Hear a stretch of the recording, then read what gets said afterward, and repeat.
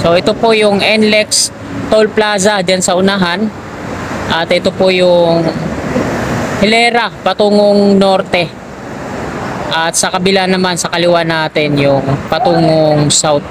So bago tayo dumako doon, kunan ko po muna dito yung sa ilalim na bahagi ng mga unibridge girders. Zoomin natin para makita natin doon sa dulo yung mga precast concrete slab na ini-install nila. Ayan po yung itsura ng mga precast concrete slab. Kung titingnan po natin, meron na siyang rebar kaagad, no? Para naman to sa parapet wall niya dito sa gilid. So, Sinimulan ko to, walang naniniwala sa paligid ko Happy Sunday po sa lahat ng mga kababayan natin, Mapaluzon, Visayas at Mindanao at maging sa mga kababayan po natin dyan sa abroad, mga OFW, immigrants, magandang hapon po. Nandito po tayo ngayon sa dulo ng Skyway Stage 3. Ito po yung NLEX footbridge dito po sa Balintawak.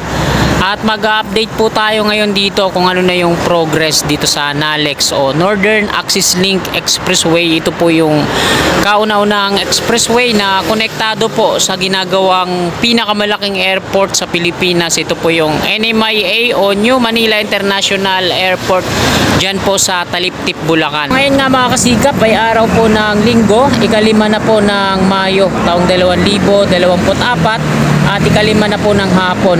So ito po yung NLEX Toll Plaza dyan sa unahan at ito po yung Hilera patungong norte. At sa kabila naman sa kaliwa natin yung patungong south. Dito sa kanang linya, ito po yung galing sa Skyway Stage 3 pababa dito sa NLEX. At ito naman yung nasa inner lane sa kanan. Ito po yung galing naman dito sa A Bonifacio at EDSA. Galing dito sa baba po, no? Doon naman sa kaliwa natin, ito yung mga palabas ng EDSA at A Bonifacio sa inner lane. At doon naman sa kaliwa, no? Ayan naman yung paakyat ng Skyway Stage 3 patungong south. Mula dito sa footbridge, ito na po yung update ng mga unibridge girders patungo dun sa unahan, kakaliwa dito sa bakanteng lote. At dito naman sa baba, makikita natin na nilagyan nila ng mga plastic barrier. Ito yung pinaka center island. May mga makikita tayo dyan na animoy parang basura, mga nasa sako pero hindi po basura yan. Mga buhangin po yung laman yan. Itinambak po yan dyan, no? Tapos may mga mangilan-ilan na mga ano, catwalk platform at yung mga scaffolding accessories na nandiyan sa gitna. So ayun mula dito sa footbridge at nandyan sa taas yung magiging viaduct niya. Ayan po yung hilera ng mga unibridge girders. Ayan po yung ginamit niya dito, no? At patungo na po yan doon sa may dulo. Kakaliwa po yan dyan, no? Tapos dun sa pinakadulo, yung mer- marami mga ilaw na kulay green, ayan po yan yung NLEX Toll Plaza. No? So ito mga kasikap, yung kuha natin dito sa kabila, no? Ito sa kaliwa natin, yung mga pababa ng Skyway, galing south. At ito naman sa kanan natin yung gitna, yung mga galing EDSA at saka A Bonifacio. So ayan yung viaduct niya. Ilang span na lang ba to? 1, 2, 3. So, tatlong span na lang mga kasikap, makakalagpas na dito sa footbridge yung iniinstallan nila ng mga precast concrete slab. Maya maya lalapit tayo doon, doon sa North Diversion Road tayo, westbound dadaan para makita natin ang malapitan. Bago tayo dumako doon, kunan ko po muna dito yung sa ilalim na bahagi ng mga unibridge girders. Ganyan po yung itsura ng unibridge girders. Kakaiba po siya sa steel box girders. No? Nasa part na po tayo. Ito yung patungong southbound. Ito yung packet ng Skyway patungong Alabang. Buendia, Sukat ay nakasulat sa ano. Sukat tapos Alabang, Bikutan, tapos Quezon Avenue, Naiya, no? Skyway to Welcome to Skyway Stage 3. So on ramp po ito patungong south.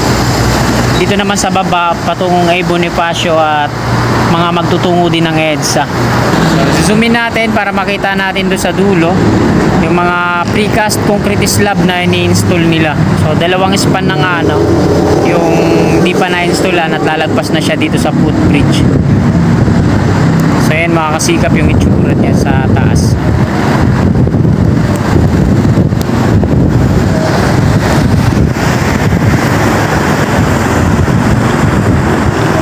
Po yung itsura ng mga precast concrete slab. Kung titingnan po natin, meron na siyang rebar kaagad, no? Para naman to sa parapet wall niya dito sa gilid. So lalagyan na lang nila ng sa naiya kasi ginagawa nila, ito din yung mga ini-install, no? Sa mga girders niya ang ginamit uh, unibridge. Tapos sa slab naman niya, ito na yung mga precast din. Kahalin tulad po dito. Ang ginawa nila diyan sa taas, mga precast din yung in-install nilang mga parapet wall, no? Isinasaklob lang nila dyan. Bali yung mga parapet wall na isinasaklob nila, may butas din yung gitna na kamatch dyan sa mga rebar na yan. Tapos tsaka nila ipoporing, bubuhusan na lang ng semento para kumapit. Ang galing no? Napakabilis nilang ginawa doon. Kaya dito din, maagang matatapos to. Pag ganito puro ano, precast yung ginamit. Yan, hanggang doon na sa dulo. So bilangin natin kung ilang span na yung na-installan. 1, 2, 3, 4, 5. So, anim na, no? Anim na span na mula dun sa dulo. Ayan yung on ramp at off ramp. So, sa dugtungan mismo, anim na siya. 1, 2, 3, 4, 5, 6. Tapos, pito, walo. So, pang walo. Yung lalagpas na dito sa, ano, sa footbridge sa kinalalagyan natin. Nasa harapan natin, ito naman yung mga packet ng Skyway at palabas ng. Bonifacio at EDSA. So, i-zoom in din natin doon sa pinakadulo, no? So, ayan po yung pakaliwa na bahagi na yan dito sa bakanteng lote. Patungong Tulyahan River na po yan. At ayan, yung mga billboard na yan. So, yung ibang parte niya, dinidismantle na yan nung nakaraan, nung pinuntahan natin. At ngayon nga, pupuntahan ulit natin yan. Papakita ko sa inyo kung ano na yung progreso. So, ito po yung footbridge. So dalawang span na lang siya no na hindi pa na-installan ng precast concrete slab patungo na yan dun sa dulo no.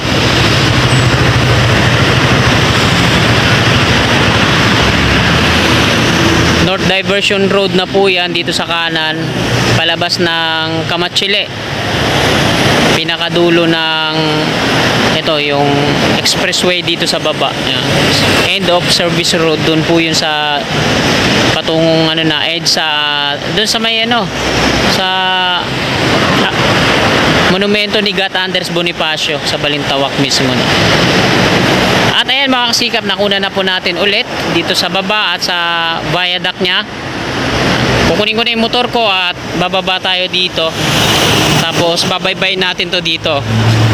Patungo doon. So ayan mga kasikap, bali bababa na tayo tapos babaybay natin yung north diversion no, westbound patungo doon sa may bakanteng lote. Meron. Yun. Thank you very much. So ito na yun yung pinakita ko kanina. Bababa tayo dito tapos kakanan tayo. Ito na po yung North Diversion Road westbound. So ito po yung viaduct ng Nalex. Yan o. Hanggang dun po yan sa dulo.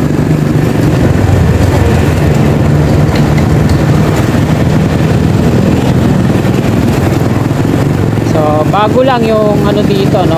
Pavement.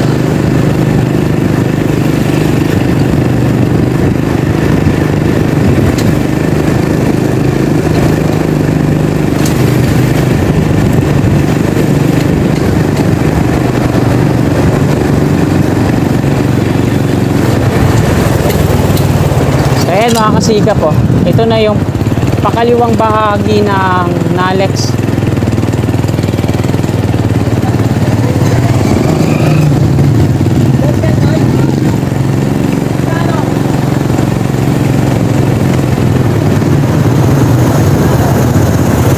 Hanggang dito lang yung mga unibridge girders kasi wala pa siyang pier na sasalo dito sa kabila sa bakanteng lote.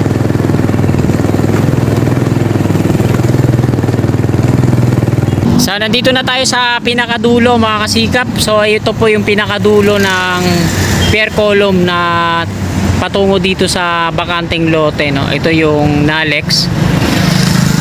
So hindi siya makadiretso dito kasi ang karugtong na niyan dito sa loob ng bakanteng lote. So wala pa ngang na didrill at mga pier na sasalo dito so hanggang dyan pa lang siya dito hindi pa nakakatawid dito sa West Service Road ng North Diversion. So nakita ko dyan na yan, yung mga gwardiya na yan. Papasok yan dito sa bakanting lote na to. Sila po yung nagbabantay. At ayan, di ako makasilip kasi bawal po yan. eh. Sinisita ako niyan pag sumisilip ako. So ito yung expressway na yan patungo dun. So yung sa amin, yung bahay namin dyan lang sa kabila. Ganito lang din yung pader yung pagitan sa amin dun sa kabila. Kaya yung ingay ng mga sakyan kasi wala namang mga sound barrier yan dyan na nagdi-divide sa compound namin sa loob. Tsaka yung alikabok mismo. Makikita mo pag naka-open lang yung bintana namin, ang dami na kagad mga alikabok na nakadikit sa electric fan. Yan. Kasi nandyan lang kami sa kabila. So, sana masilip natin dito sa unahan, no? Kaso nakita na tayo ng gwardiya eh.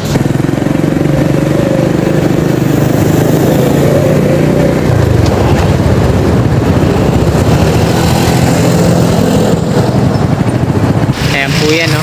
At ito yung ma- matatayog na billboard na yan na inuunti-unti nilang dismantle. Sa totoo lang hindi naaabutin to eh, no? yung billboard na to kasi eh, ang sasalo na ito dito sa likod na mismo. Diyan. Pero makikita natin dyan sa loob, ayan yung bahagi na yan, napakarami po ng mga na-dismantle na billboard. Ayan. So ito yun yung part na to na nandito. Tingnan natin dyan sa loob. Ayan, yung loob niya, so wala pang construction na sinasagawa dyan, ano. Ayan. Di wala pang mga heavy equipment dyan, pero meron ng mga barracks na panibago. Ayan, oh. Mga bago lang yan. Nung nakarang update ko dito, wala pa yan. Tapos uh, dumami pa lalo yung mga na-dismantle na billboard dyan. So, bawal tayo magtanong dyan sa mga gwardiya kasi napapagalitan ako dyan. Sinisita ako, bawal daw kasi privado daw yan eh. Privado daw yan kaya hindi pwedeng kumuha ng video dyan sa loob ng wala kang permit. So, mahirap na. At ayan mga kasigap, diretso na po tayo doon, no? Babalik na tayo. Bali, doon tayo ulit mag end ng ating video pag palabas na tayo doon sa footbridge. Ay, didiretso pa pala tayo doon, no? Sa unahan, kung saan nag-start naman tong Nalex. So, ito yung viaduct niya, patungo doon. So, ito yung part na pakaliwa. Pag nandun tayo sa footbridge.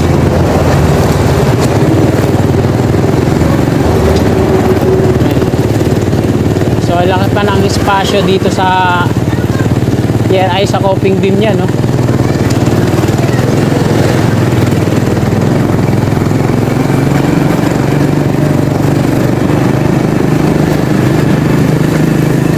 Yan, at parang uulan na naman. So, sana umulan para maibsan yung init. Grabe yung init kanina, no? At para madiligan na rin yung mga halaman.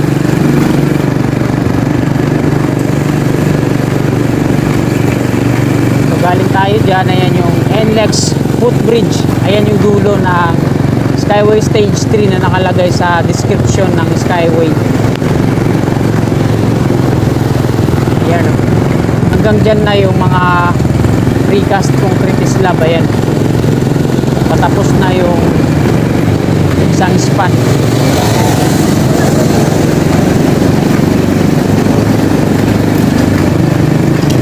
West Service Road po ito ng North Diversion Road.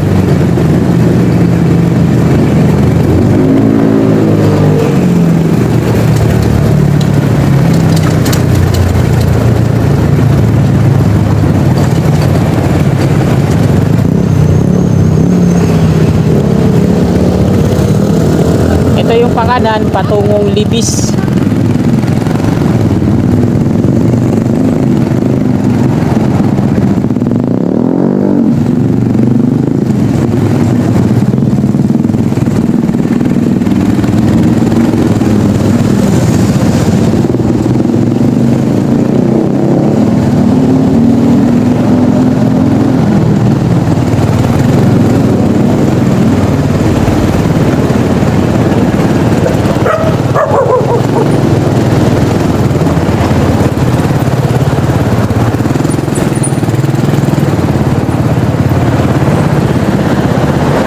Tayo sa pinakadulo kung saan nag-start naman yung Nalex.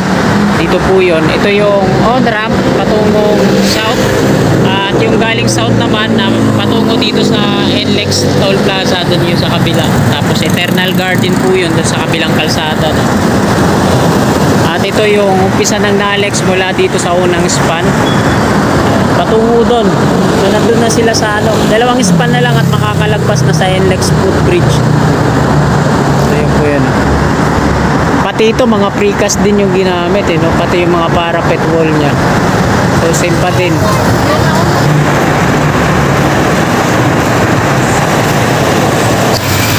At ayan mga kasikap, dito na po nagtatapos tong video natin. Maraming salamat po sa mga kasikap natin na patuloy na sumusuporta sa aking munting YouTube channel.